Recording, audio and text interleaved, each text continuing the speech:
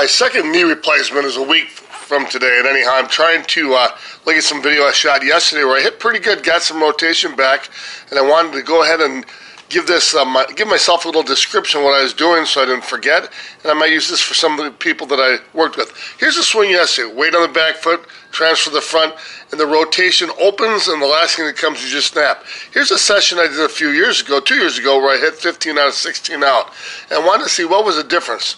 Well, let's look at the lower body. There's a wind on the rear leg, uh, transfer the front foot, rotate open. They look pretty similar. That's not the difference right there. So I was trying to come over, watch how it snaps over the top a little bit. A little bit of a tomahawk, a little bit of a tilted axe snap on here. And right here, I'm more of a pure side axe snap. I was able to cut it better. Side axe snap keeps me from going outside the rotation. I, can go outside the rotation just a little bit, and it's a finer cut on the ball. Here, this pure side axe snap right there, lag to snap, is going to keep me in a better position and on a better plane. Here's, here's a different view of it. Better plane to axe snap and cut through the bottom and still follow the rotation around. If I'm coming over the top, that is really working on a different axis in my rotation, and that's a hard thing for me at 69 years old with uh, one knee replacement, the other one on the way. Rotation, extension, and snap. You know, it's like you're pulling, rotating. The very last thing that comes is the axe snap. Rotate, rotate, rotate, rotate, rotate, rotate, snap. That's how late in the swing that snap has to come. Otherwise, you're getting your body, upper body ahead of it. There's a great lag to snap there. There's a difference, like right here. This is a ball that maybe I hit upper threes close to 400 feet. You can see there's a lag, nice long lag to snap. Otherwise, the other ones are a little bit, little bit of mistakes.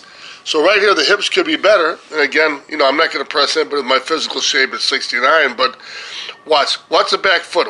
All the weight's kept down there, and watch the back foot turn backwards. You keep the weight on, and look at that. Just signifies a coil right before you, you've come off. If you hold that weight there as you come ahead, you're going to really coil. And I'm coming down hard on the front foot here. It doesn't look like it, but I have to force myself to come down hard on that front foot. That's another big key for me. Otherwise, I stay jammed in the back. So here's the rotation, and here's the um, snap coming real late. It's a little bit over the top. Again, I'd like to make that more sideways. You can see that pops over the top. And I think you get more distance. I did that when I was younger, but a pure axe side snap I think is going to be better. There's your lag, there's your snap. The very last thing that comes is your snap. Now that's a good strike there, but when you come over the top of that tomahawk, a little bit of a tilted axe snap, you're going to um, have less consistency.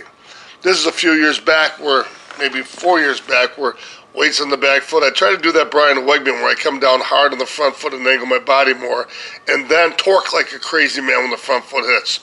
And you can see right here the same principles. You can see rotate, rotate, rotate, rotate, lag, and snap, and then look at the follow through all the way around. Again, rotate, rotate, rotate. So the very last thing that comes, there's your extension and your snap. So rotation, extension, and snap. And the very last thing that comes is your snap. And if your rotation fails, you'll start to swing with the upper body all the time. So hopefully this will be helpful for me, and I might pass on a few of you guys. Good luck.